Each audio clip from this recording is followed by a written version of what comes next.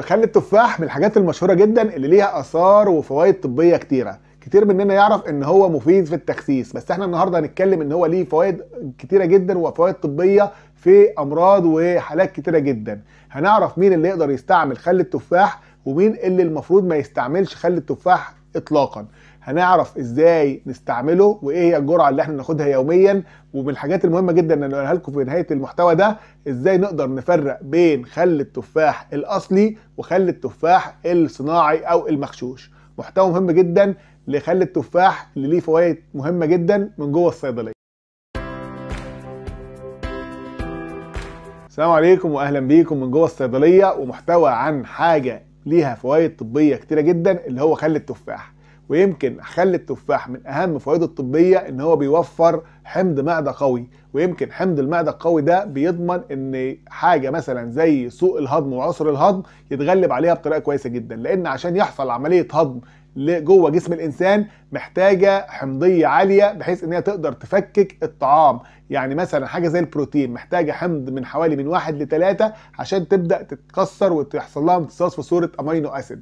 ودوت اللي بيوفره خل التفاح إن هو بيزود حمضية المعدة. عشان كده من الحاجات الأساسية اللي إحنا لما نستعمل خل التفاح بيتغلب على مشكلة سوء الهضم وعسر الهضم. مش بس كده هو حاجة تانية إن هو بيقوي مناعة الجسم. لأن أي بكتيريا بتنزل جوه جسم أو جوه المعدة في وجود حمض معدة قوي بيقدر يقضي عليها تماما. يمكن جرثومة المعدة بتبدأ تنشط عند الأشخاص اللي بيبقى عندهم حمض المعدة قل أو ضعف نتيجة استعمال مضادات حموضة أو نتيجة أي سبب من الأسباب. عشان كده خل التفاح بيوفر حمض المعدة القوي ده تبدأ ينشط الخلايا المناعيه اللي موجودة في المعدة ويمكن 70% من الخلايا المناعيه اللي موجودة في الجسم موجودة في المعدة. وفي نفس الوقت أي ميكروب أو جرثومة أو فيروس يخش جوه الجسم في وجود الحمضية العالية بتاعة المعدة بمساعدة خل التفاح يقدر يقضي عليها. من الحاجات المهمة جدا برضو إن هو بيحسن امتصاص الأكل زي ما إحنا قلنا لأن هو بيفكك أو بيحسن الهضم بطريقة كويسة جدا. فيبدأ الجسم يستفاد من المكونات الغذائية اللي موجودة في الأكل. يعني بنقدر ناخد الفيتامينات والمعادن اللي موجودة في الأكل بطريقة كويسة. عشان كده يبدأ اولا بيقوي المناعة لأن طبعا المناعة محتاجة حاجة زي الزنك زي الحديد زي المغنيسيوم والحاجات دي ما بيحصلهاش امتصاص إلا في وجود حمض معدة قوي. وده ممكن اللي بيوفره خل التفاح. إذا كنا بناخدها من الأكل أو من مكملات غذائية ما بيحصلهاش امتصاص إلا في وجود حمض معدة قوي. يبقى هو كده بيحسن عسر الهضم في نفس الوقت بي بيقوي مناعة المعدة وبيخلي أي ميكروب يموته بسرعة وفي نفس الوقت بيحسن امتصاص إيه؟ العناصر الفيتامينات والمعادن المهمة. من الحاجات المهمة برضو إن هو بيعالج موضوع الانتفاخ وعدم الإحساس بالراحة في الجهاز الهضمي والإمساك. وده يمكن لأن هو ليه كذا دور. أول حاجة إن إحنا اتفقنا إن هو بيحسن الهضم فبيقلل موضوع الانتفاخ. تاني حاجة إن هو بينشط العصارة الصفراوية بحيث إن هو بتطلع العصاره الصفراوية دي حاجة تهضم الدهون وتراكم الدهون جوه الجهاز الهضمي بيعمل موضوع الانتفاخ.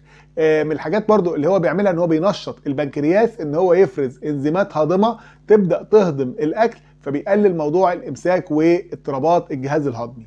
من الحاجات المهمة جدا والمشهورة جدا عن خل التفاح إن هو طبعا بيخسس وهو يمكن بيخسس لأن هو بيقلل مستوى إنسولين الدم لأن هو بيقلل مستوى سكر الدم فطول ما طبعا الإنسولين بيبقى في مستوى قليل ده بيخلي الحرق يفضل بطريقة كويسة جدا. يمكن إحنا عشان نحرق كويس لازم هرمون الإنسولين زي ما اتفقنا يبقى في أقل مستوياته. ومن الحاجات اللي بيعملها خل التفاح إن هو بيبدأ يقلل الإنسولين فالحرق يبدأ يبقى في صورة عالية جدا. كمان زي ما اتفقنا في أول محتوى إن هو بيحسن امتصاص العناصر الغذائية المهمة جدا زي الحديد والزنك والمغنيسيوم والمنجنيز والعناصر دي مهمة جدا عشان عملية حرق الدهون.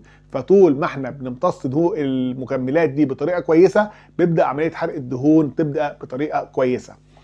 آه مين الناس اللي المفروض ما ياخدوش خل تفاح أو يبعدوا عن خل التفاح تماما؟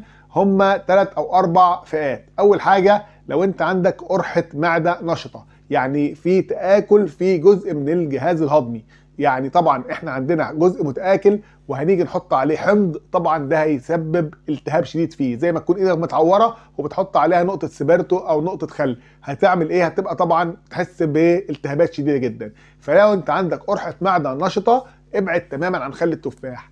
آه، برضو من الناس اللي المفروض تبعد عن خل التفاح الناس اللي هي بتشتكي من موضوع ارتجاع المريء لأن طبعا المريء بيبقى فيه التهابات ممكن خل التفاح يزود الالتهابات دي. واخر مجموعه الناس اللي هي عندها اوريدي جرثومه معده ما اتعالجتش منها. طبعا جرثومة المعدة معروف إن هي بتعمل تقرحات والتهابات في الجهاز الهضمي فطبعا برضو مع استعمال خل التفاح ممكن يزود الالتهابات دي.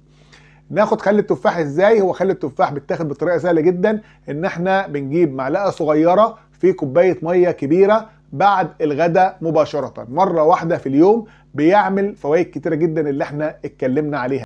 طيب نعرف خل التفاح الأصلي الكويس اللي فيه فوائد عالية اللي إحنا اتكلمنا عليها دي من خل التفاح الصناعي أو المغشوش إزاي؟ أول حاجة بالنسبة للون هنلاقي خل التفاح الأصلي باللون دوت اللي هو الأصفر الغامق خل التفاح المغشوش هنلاقيه باللون ده اللي هو الأصفر الفاتح. لو فتحنا إزازة خل التفاح هنشم بالنسبة للخل التفاح المغشوش ريحة الخل الأبيض اللي هو الخل بتاع السلطه اللي إحنا بنستعمله عادي. لكن بالنسبة لخل التفاح هنشم ريحة يعني زي التفاح المتخمر كده. آه، من الحاجات برضو المهمة جدا إن إحنا لو بصينا في خل التفاح الأصلي هنلاقيه أصفر وفي تحت في القاع بتاعه آه، رواسب أو آه، عقارة كده في تعكير. وده نتيجة إن بيبقى فيه حاجة اسمها المازرز المازر دي اللي هي عبارة عن إنزيمات مفيدة وبكتيريا وبروتينات موجودة بتبقى موجودة في خل التفاح نتيجة الحاجة الأصلية وده بتبقى ليها فوائد مهمة جدا. دي موجودة في خل التفاح الأصلي. بالنسبة لخل التفاح المغشوش هنلاقي اللي هو لونه صافي مفيش أي عكارة أو تعكير فيه.